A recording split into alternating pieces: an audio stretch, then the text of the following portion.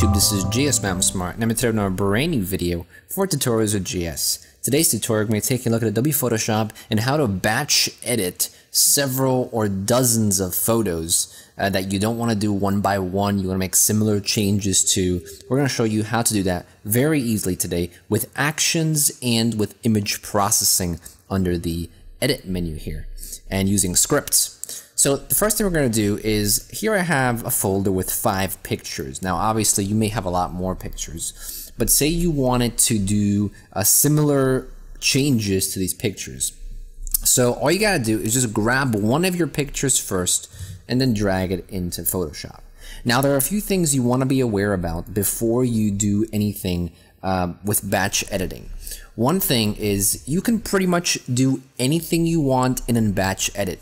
You can, you know, you can make selections, you can draw things, you can place things, you can crop things, you can put effects, you can pretty much make paths, you can do anything.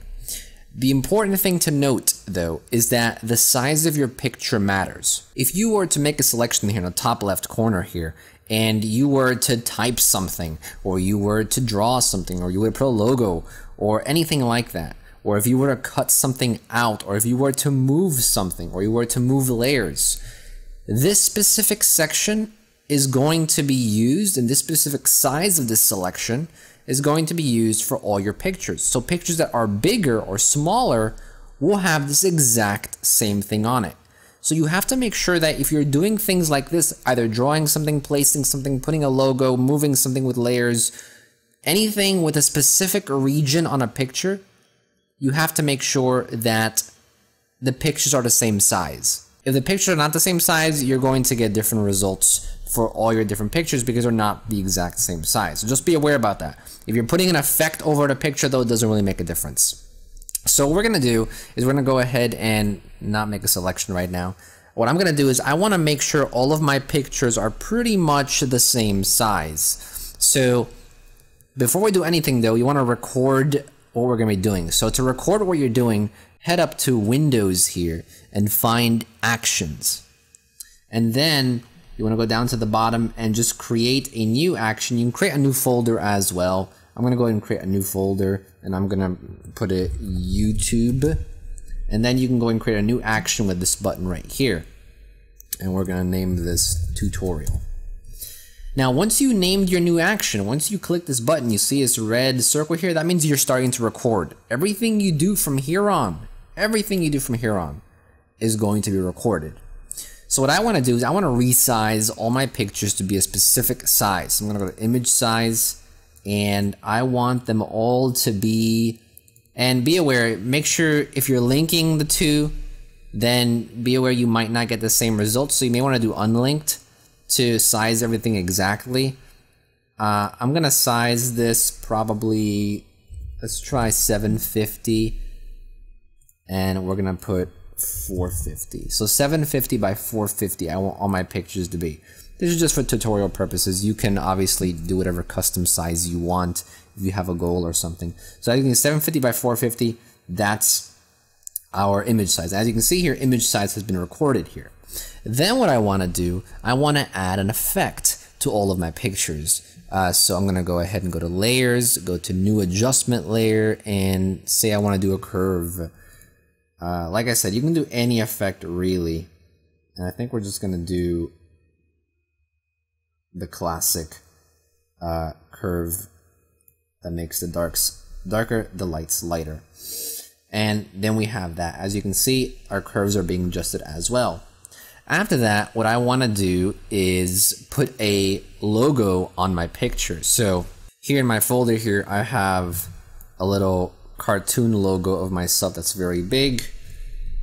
And I'm gonna go ahead and make it small, like so.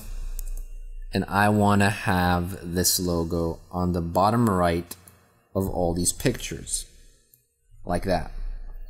And as you can see, it places it, it does everything it's supposed to do. Then that's pretty much everything I want to happen. So we're gonna go ahead and press stop. Now what we have recorded is our resize, our effect, and our placing of our watermark or logo, whatever you want to call it. Now we have our action recorded. Now, if we want to batch edit this, if we want to make similar changes to everything else, we're going to go to Scripts, under File, go to Image Processor, right here, and then an Image Processor, here's where the batch editing uh, comes into play. So first of all, your first option is select a folder where your images are at. So my images are in pics right here. I'm gonna press OK. The other options here, you can keep the first two blank if you don't have any subfolders. Uh, make sure you have this option selected here, open first image to apply settings. Now if you want to save in the same location, you can do that, but I actually want to use a new folder. So I'm gonna go ahead and, can I create a new folder here? I can.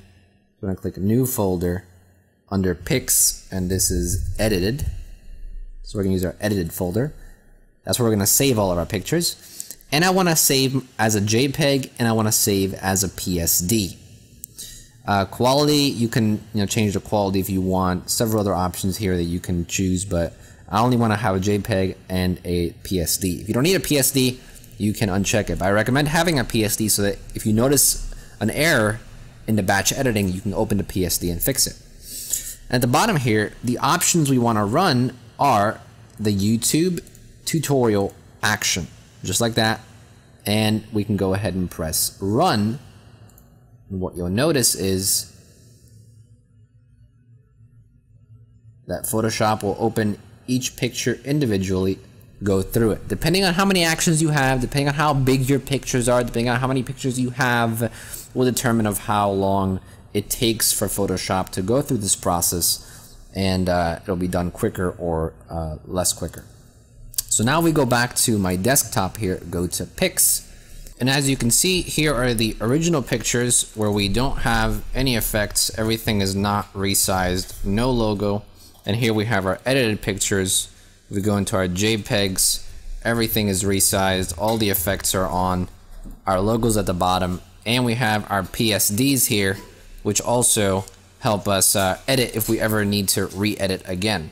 So as per this tutorial, that's how you batch edit several images at once through actions and through the image processor under the edit menu. If you like the video, if you like the video, go ahead and leave a like at the bottom. If you want to subscribe to the channel, go ahead and subscribe. Lots of other Photoshop tutorials on the channel, as well as other software tutorials on the channel. And if you want to donate a dollar to my Patreon page, any of those, that's very helpful, very much appreciate it. Links at the top right corner of the screen. You can click and it'll bring you to the page. And if you want to check out the vlogging channel, the advice channel, gaming channel, or the music channel, links in the description as well as in the end screen. That's pretty much it. Thank you for watching as always, and this is GS Man Smart. I'll be back sooner you think. Don't go anywhere.